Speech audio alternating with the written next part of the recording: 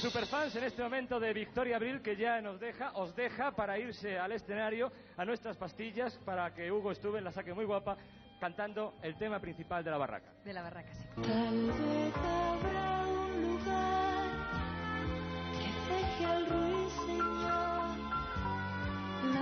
su trino cantando solo por cantar, extraño mal